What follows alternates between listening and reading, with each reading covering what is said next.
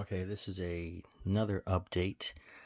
The MOSFETs were always getting hot and eventually failing, and I was getting about 35,000 volts. So I put a cooling fan on it to run from a, another 12 volt battery. What I did now was I changed the MOSFETs from a 260N to a 250N.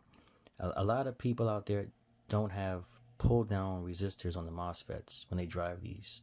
So I put a 10K resistor and I actually put a capacitor in series with another resistor from the drain to source and I changed the the diodes I had on the primary to just a Schottky diode because they say it has a, a faster recovery time.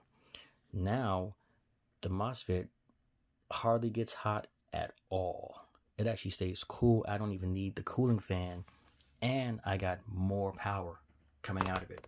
Still from the same 12 volt battery. So let's plug it in. And you can see these arcs now.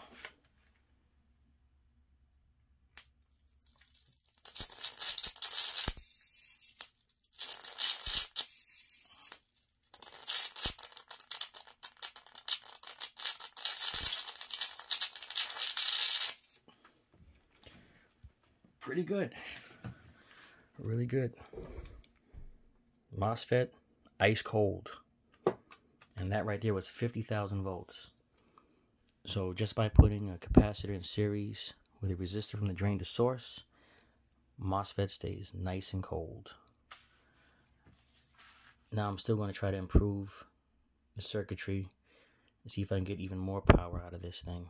Still run from a 12 volt battery. Then the next step, I'll bump this up to 24 volts and see how much power we can get. All right, later.